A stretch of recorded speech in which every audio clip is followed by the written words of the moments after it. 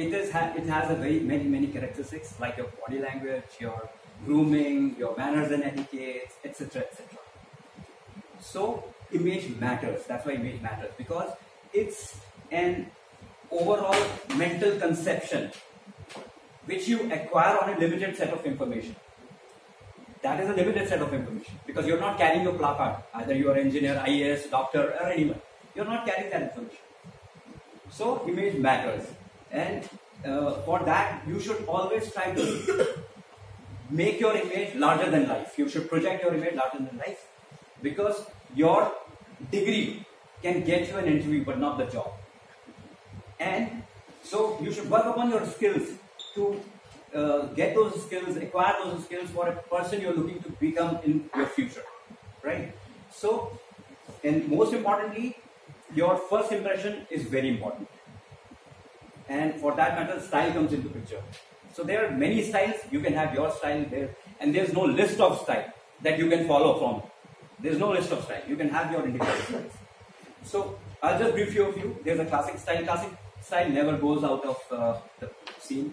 It always stays there. They have a defined cheekbones and all those things.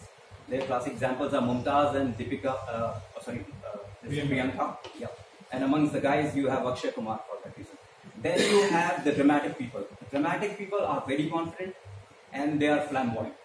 They use their face as a palette, like an artist sketches and uh, you know beautifies the sketch.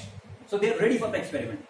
The examples are Zeenat Aman, Kangana Ranaut, or you can say amongst the male uh, Ranveer Singh. So they're always they're always good for this. Now comes elegant people. Elegant people fill the space with their presence. They they have a very pleasing personality. They are polished. So mm, they are Rekha, like for example Rekha, Deepika Padukone, and amongst males you have your Amitabh Bachchan, Shah Rukh Khan. Then there are natural people who are who carry a wholesome look, or you can say healthy look. These people they wear minimal makeup or no makeup. They carry simple clothing and all those things, like for example Madhubala, Anushka Sharma, and Shahid. We there are many different types of bodies. We all have different bodies, but what the idea is that we all try to fit into the best clothes, whatever body type our we have. So the idea comes to disguise the other's eyes.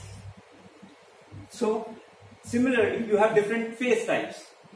You have uh, oval face, round face. Oval face is considered to be the best face. It can carry any hairstyle, any hairstyle. So once we are aware of your body type, your face type, your comes, then comes your skin type.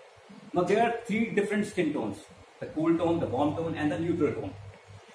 These skin tones decide your colors, the colors of clothes you wear, the color of your hairs, or the jewelry for that matters.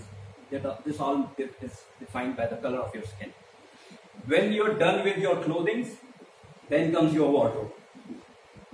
So an organized wardrobe is the benchmark of a successful person. Organized benchmark is a benchmark of a successful person. For that matters, the new terminology has surfaced these days. It's a capsule wardrobe. Now, capsule wardrobe consists of uh, clothing which are key, key clothing. The idea is to have minimal clothing, right? And in coordinating colors so that you can interchangeably wear them. In that, this, this results in maximum number of outfits and less clothing. So this is the idea. Just grab an hanger and you have a outfit, not one clothing. Otherwise, you would be searching for it. When you're done with your clothing and all those, you should try to keep yourself clean, healthy, hygienic, with your nails, with your hairs, with your eyebrows, with your facial hair. All this comes under grooming. When you are done with the grooming, then comes how do you speak? There comes communication. 95% of the people across the world speak their own language. So one has nothing to do with this. One should not be nervous or have fear about any foreign language. And it's always good to learn any foreign language. Any foreign language. But the impact is different, different. The visual amongst the communication pattern has the maximum impact. It has around 55% of the impact. 55%. How to demonstrate that? Simple. just mute your television and see. You will easily grab what is happening there. Easily grab. Whatever is going across that play, whatever is going in that movie. For example, if you uh, uh, you're watching somebody is crying, you can just see that. You can just feel that okay, the tears are flowing. So you can just see that you are not hearing anything. Basically, you are not getting anything. For example, that matters. This girl is shouting, how? So you can easily interpret. Very simple. So then comes similarly the facial expressions. Now there are very there are many facial expressions like uh, they are basically emotions of a person. Emotions can be like fear, sadness, happiness, or, or you say for that matter, uh, empathy, anything. So these expressions you can easily see from the faces of the people sitting. That this is happy, this is unhappy, or he, is uh, he's nervous, or something like that. And so is the eye contact. Eye contact establishes trust and rapport. It establishes trust and rapport. As a speaker, it gives you confidence. As a listener, it gives you respect and attention, both.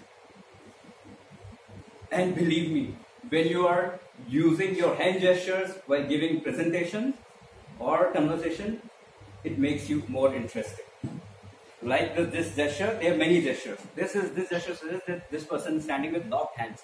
It, this person means that he is afraid or he disagrees. So it can be used both to understand or both to reflect also.